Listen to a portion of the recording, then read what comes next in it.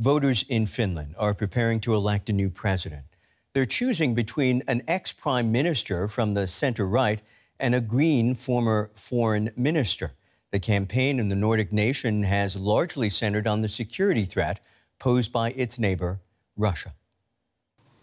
One of these two men will lead NATO's newest member, former Prime Minister Alexander Stubb or former Foreign Minister Pekka Haavisto. They agree on the most pressing issues for voters securing the border with Russia and support for Ukraine.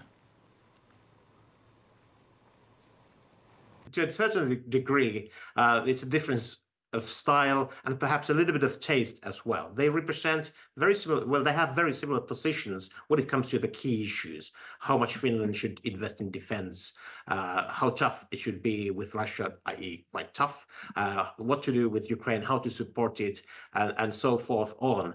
But, the, but perhaps the differences are on the level of values. Stubb quit Finnish politics in 2017. He says Russia's invasion of Ukraine made him return. His rival Haavisto negotiated Finland's accession to NATO and has promised to take a hard line against its giant eastern neighbor. If elected, he will become Finland's first openly gay president. I think um, what I've really paid attention to is obviously uh, Haavisto's sexuality and discussion around that, and I think it has been very, very um, uncalled for uh, to even bring that into discussion because it's uh, obviously if, if, you're heterosexual or homosexual, even in job interviews, you would not bring that uh, as an issue. In Finland, the president leads foreign and security policy. He will serve as commander in chief and will represent the nation at NATO meetings.